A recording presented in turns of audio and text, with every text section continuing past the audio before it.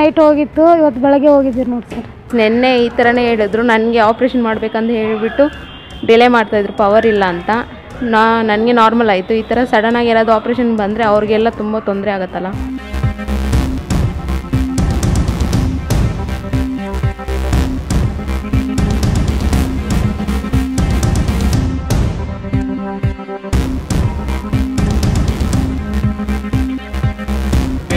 ಮೊದಲು ಎಂಟು ಒಂಬತ್ತು ಗಂಟೆಗೆ ಬಂದು ಕುತ್ಕೊಂಡಿದ್ವಿ ನಿನ್ನೆಯಿಂದ ನಮಗೆ ಕಾಯ್ತಾ ಇದ್ದಾರೆ.